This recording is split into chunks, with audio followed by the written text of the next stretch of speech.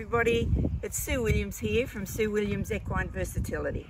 Um, happy New Year to you all and I hope you had a safe and a happy Christmas and New Year. Um, this next 12 months is going to be very busy for all of us. There's a lot of ranch shows coming up.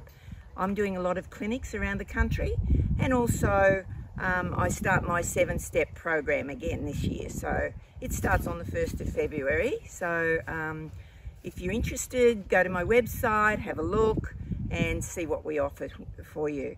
Um, today we're going to do a series of videos and we will post them gradually um, one by one.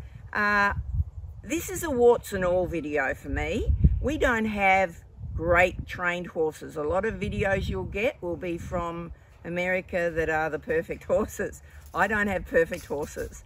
So right now, I've got a little horse in the background here. He's a three-year-old, but he hasn't been started for very long, and you will see the warts and all. So I'm not going to hide anything. What you see is what you get, and it is only my opinion, my way.